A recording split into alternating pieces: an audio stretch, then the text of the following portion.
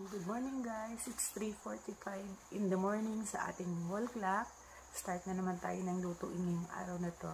And watch out kung ano-ano mga dish natin na lulutuin ngayong umaga. Okay, kasama po sa menu natin ngayong umaga ay puto. Putong puti. So, sa na gumamit po ako ng kung ano ingredients, ayokong pampairat ng sarili ko.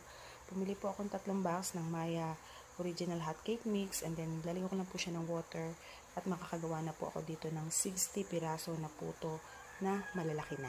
Okay, mamaya po makita niyo po ang finished product. Lalagyan po natin siya ng 6 cups of water. Then nahaluin lang po natin siya. At magbibigay na po ito sa atin ng 60 pieces na putong puti. So, halo lang po.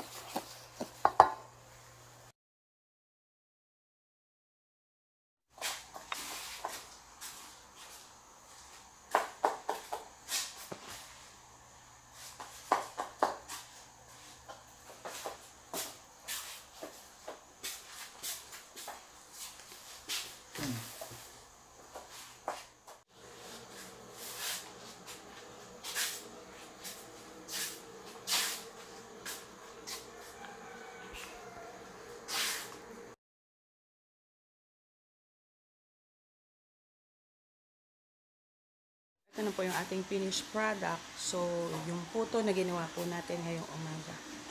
Okay? Tatanggalin ko na po siya sa hulmahan. Ito na po yung finished product natin ng puto. From tatlong box, nakagawa po tayo ng 60 pieces. Puto, ready na po to serve. Okay, ang nakaprepare po natin for breakfast ng ating mga nasa sana lang ay itlog na pula with kamatis, piniritong dalagang bukid, sinangag, sasangag po natin. And then yung ating biscuit at yung kanilang coffee. So, maya maya po, dadali na natin yan.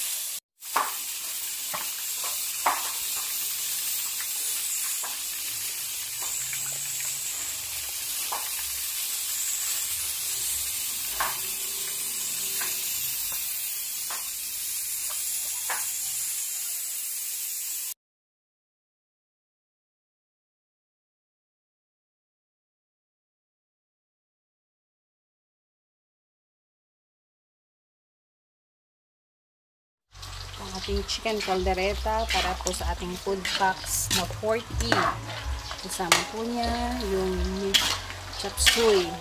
Chop suey natin in oyster sauce. Pack lunch po siya na 40 packs. And then ito po ating beef steak para sa senior citizen. Order po nila na po.